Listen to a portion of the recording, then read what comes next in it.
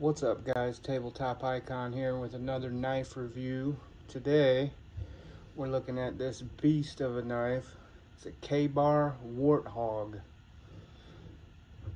As you can see, it's got a pretty nice sheath. It's one of those uh, leather-backed Cordura sheath with a dangler, triple riveted. Nice sheath, you know, like, I mean, some of these companies, uh, you get a you get a good knife like Ontario knives. They make awesome knives, but those nylon sheaths suck. But this one still has a decent sheath on it. Hopefully, they uh, stay with making a decent quality sheath. Anyway, the knife itself, as you can see, these newer warthogs are made in Taiwan.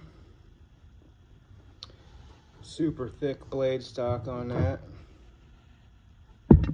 I'll get the specs here in a minute. The video doesn't really do it justice. It's larger than you would think. It's uh, not a small knife.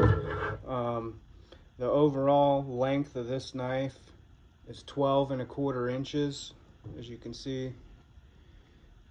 The blade width on this knife, I didn't measure it, but it is probably more than two inches wide. It's a very wide blade the blade length is 6.75 inches. Blade stock is a quarter inch thick. It's 1095 Cro-Van steel. I think that's Ka-Bar's. I don't know if it's exclusive to K-Bar, but I know it's a steel they've used for a long time.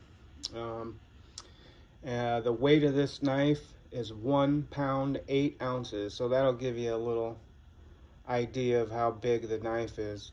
It feels really good in your hands. I got medium size hands and it feels good in my hands. So if your hands are even larger than that, it's gonna feel really nice. It is, like I said, a larger knife than you would expect. I know when I when it came in the mail, it was much larger than I thought it would be.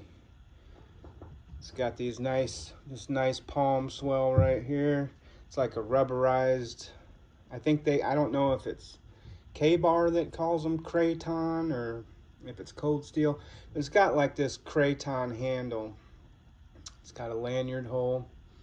I think it's full tang, but I'm not entirely sure. I couldn't see. I mean, anything I pulled on, pulled the specs, and it didn't say anywhere usually Ka-Bars have those tapered tangs or those rat tail tangs or whatever you would like to call them. This is super stout, feels really good in your hands.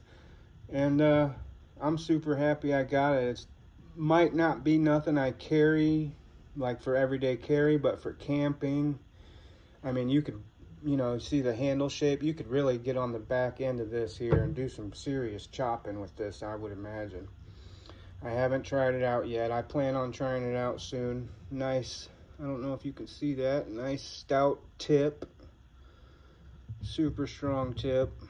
If you see my uh, video on the last Ka-Bar, the Harpoon, I think it's the BK 16, I believe. Go check that out. And I also will have a link in the description in all my videos for every knife in here. So if you're interested, click the link. It'll take you right to Amazon, and you can see the current pricing on Amazon for this knife.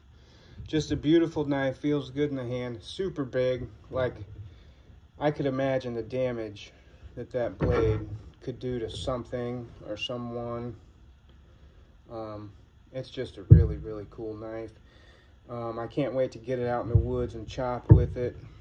Um, but that's the Ka-Bar Warthog. Go pick one up.